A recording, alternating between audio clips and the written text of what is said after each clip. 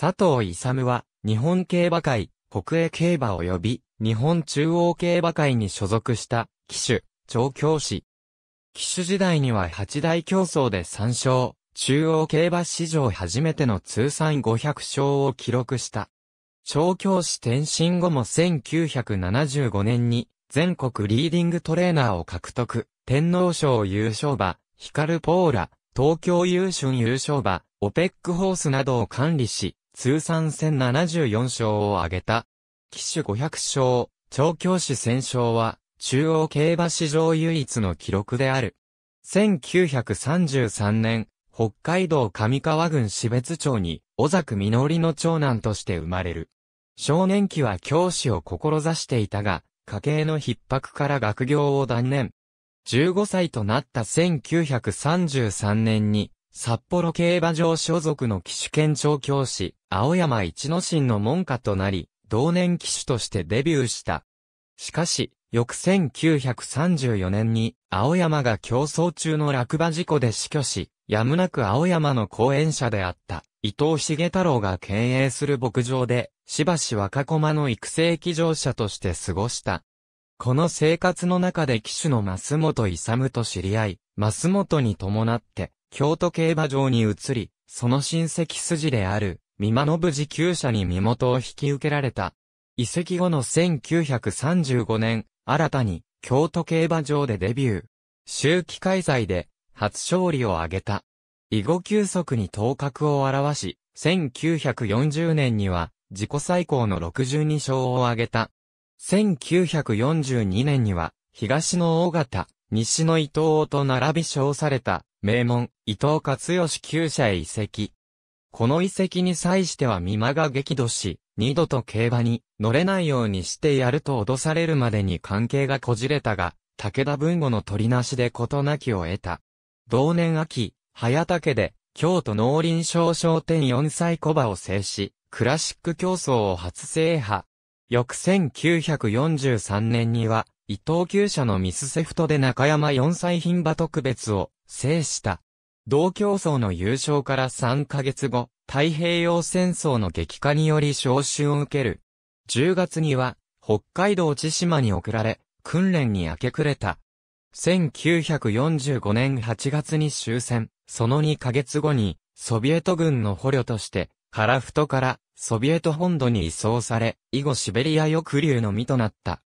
1949年に帰国、佐藤の帰還を待っていた武田文吾が、これに伴って、騎手を引退して調教師に転身し、佐藤は新たに開業した武田厩舎所属騎手として迎えられた。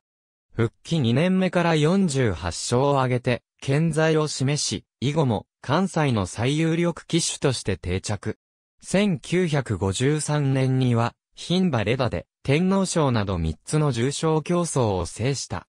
しかし同年秋の毎日王冠での競争中、レダが骨折転倒、佐藤も馬場に叩きつけられて、右足大腿骨骨折の重傷を負い、半年間の休養を余儀なくされた。レダはこの事故で予後不良となった。復帰後の1954年6月20日、阪神競馬で久錦に騎乗して勝利を挙げ、日本の騎手として初の通算500勝を達成した。当年途中復帰ながら36勝、翌年も46勝を挙げたが、年齢から減量に苦労し始め、1956年に騎手を引退、調教師に転身した。通算2560戦578勝。引退の同年に阪神競馬場に自身の厩舎を開業、伊藤勝義、武田文吾両厩舎に在籍していた実績から、比較的恵まれた出だしとなり、初年度から重賞の京都4歳特別を含む20勝を挙げた。以後コンスタントに30勝前後の成績を上げ続け、1964年には、ヒカルポーラで天皇賞に優勝し、調教師としての八大競争初勝利を挙げた。これをきっかけに管理馬が増加、また同馬の主戦騎手であった門下の高橋重忠は、関西有数の名手に成長し、厩舎管理の面でも、坂田正幸が佐藤を補佐して、厩舎の基礎が固められた。さらに、高知県高知市に若駒と小商馬を収容する外馬屋施設、桂浜ファームを構え、海水浴療法と砂浜を走る調教を施し、管理場の回転を上げる工夫も言った。1968年には年間46勝で初のベスト10入り、一等トレーニングセンターに厩舎を移動した1969年には自身最多の57勝を挙げ、44勝を挙げた1975年には、増本勇を抑えて、年間最多勝利調教師となった。オペックホース1980年、管理場、オペックホースが東京優春を制し、騎手時代の心残りとしていたダービー制覇を果たした。しかし同馬は以後連敗を重ね、佐藤の試行錯誤にもかかわらず、最後まで復活はならず、32連敗の記録を残して、史上最弱のダービー馬と揶揄される存在ともなった。佐藤はこのことについて、騎手から調教師と65年間、明けても暮れても、馬と暮らしてきた僕にとっても、未だに謎である。すべては、結果論。宿命だと諦めていると語っている。